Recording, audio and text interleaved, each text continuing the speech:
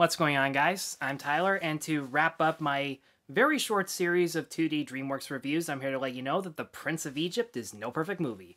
And it, of course, follows Moses, played by Val Kilmer, who learns the hard way that he is actually a Hebrew adopted amongst Egyptians and that his biological family is only a select few of thousands of enslaved Israelites. And he's initially wrecked with guilt over this that he decides to run away and find a much more simple and peaceful life as a shepherd. But one day, God comes to him and commands him to face his brother Ramesses, played by Ralph Fiennes, to liberate the Israelites and deliver them to the Promised Land. And I saved this movie for last because out of all the 2D DreamWorks movies, this was the one that everybody remembers the most. It's the one that everybody praises the most. There are a fair bit of people who actually prefer this over the Cecil B. DeMille Ten Commandments.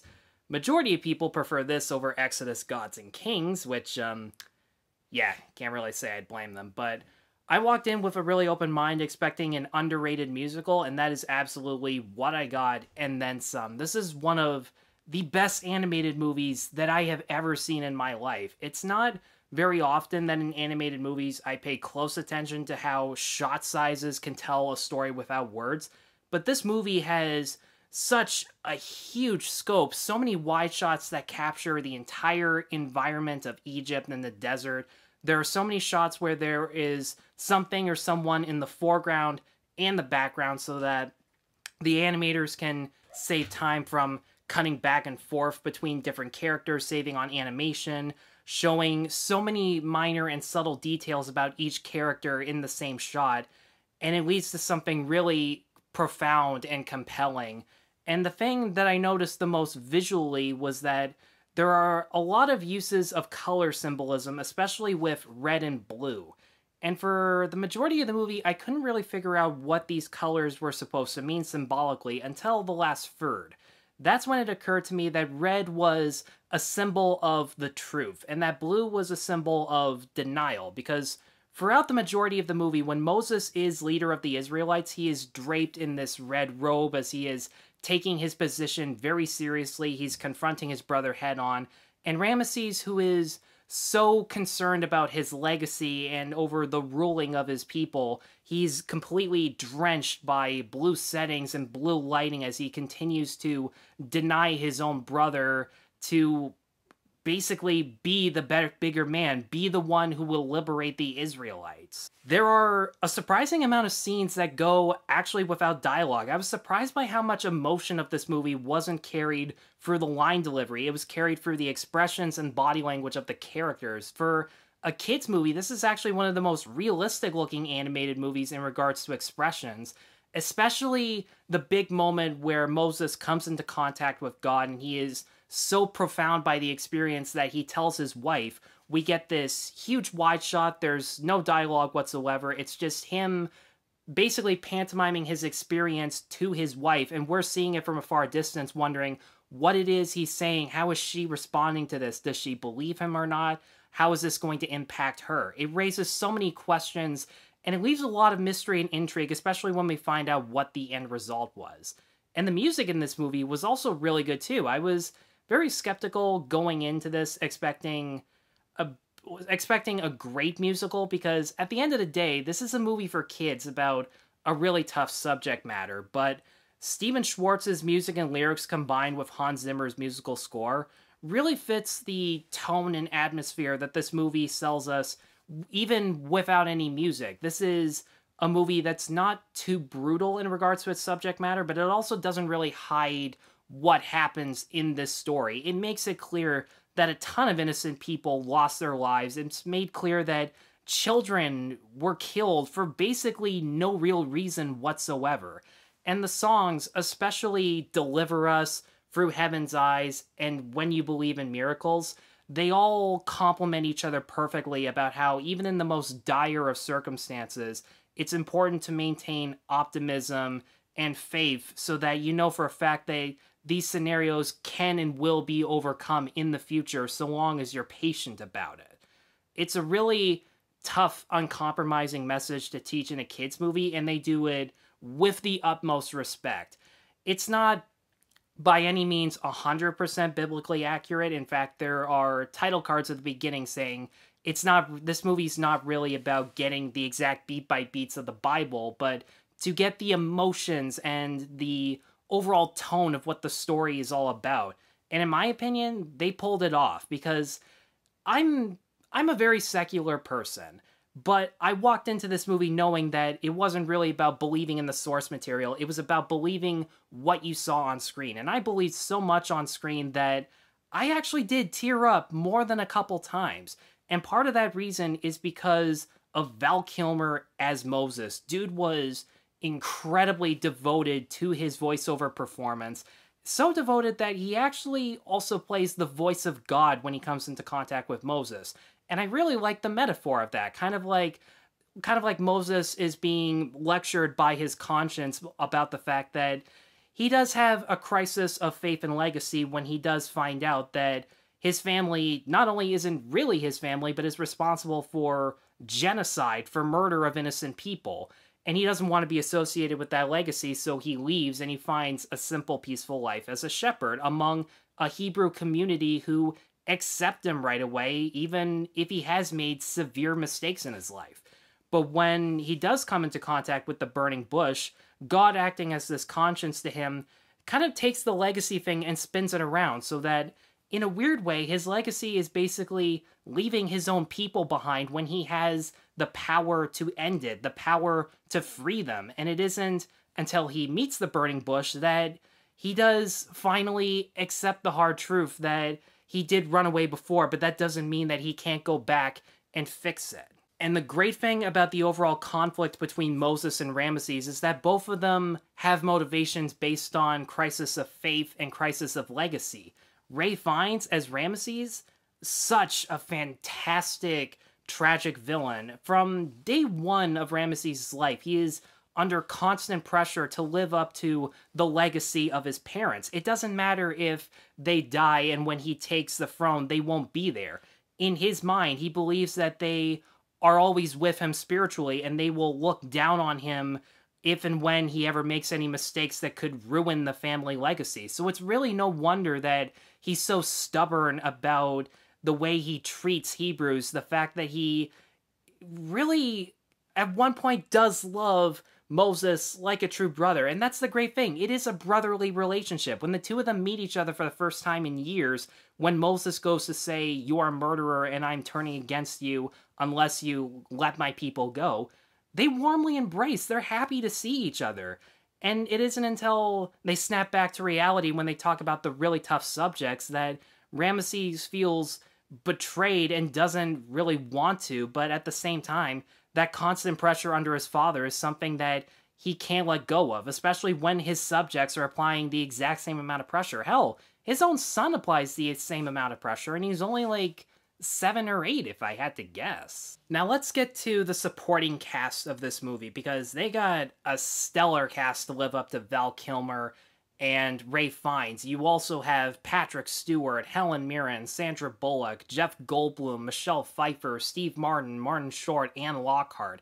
And they all do really great performances, and they live up to the source material as if it really was Shakespearean. And since half of them are Shakespearean actors, they lend so much to their characters, even if they have little screen time. The supporting actor that really stands out the most is Patrick Stewart as the Pharaoh before Ramesses. He loves both of his children, and he's willing to do just about anything in order to maintain the luxurious royal lifestyle that they have. And if I'm being honest, I think he was kind of a more interesting villain than Ramesses. As I said before, Ramesses is great for how tragic of a backstory he has.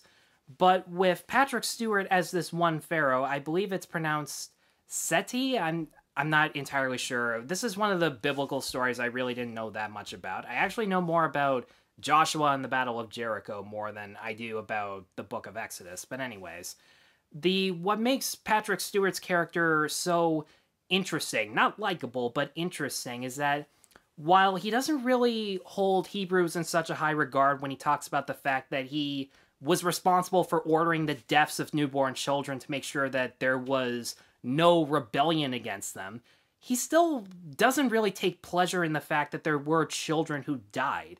And you kind of get the sense that he did these acts of violence not out of sadism, not out of greed, but out of survival. He really does feel that what that his actions were in the end the right thing for his family, for his legacy, and the legacy of his own children.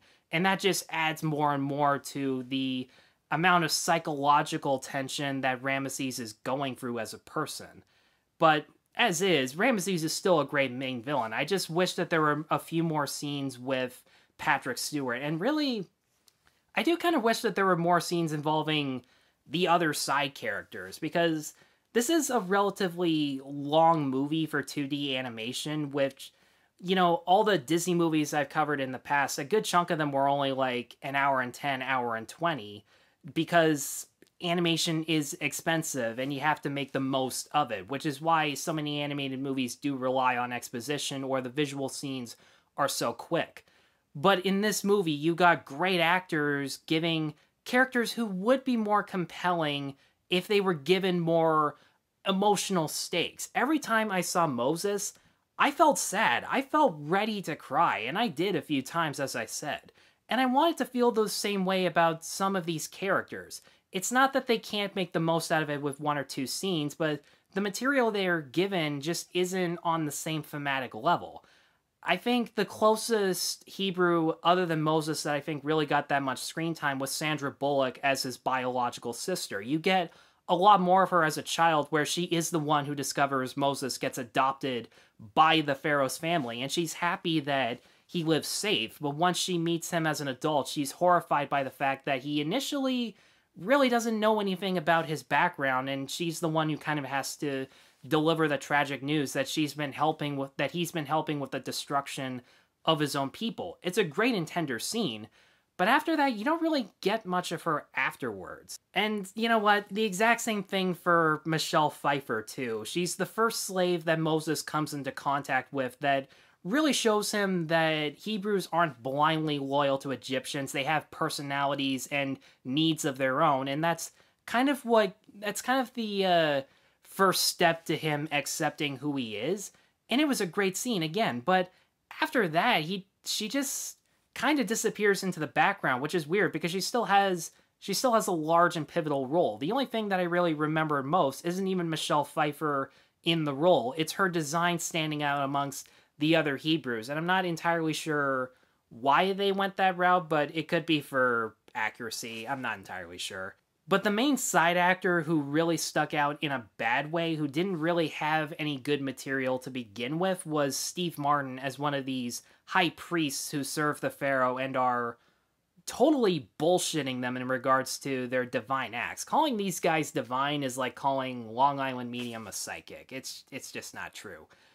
It's him and Martin Short as these two high priests, and Martin Short is such a good voice actor that he can blend in very seamlessly. But Steve Martin just uses his real voice. And I'd be kind of okay with that if his jokes were good, but his jokes didn't really land with me all that much.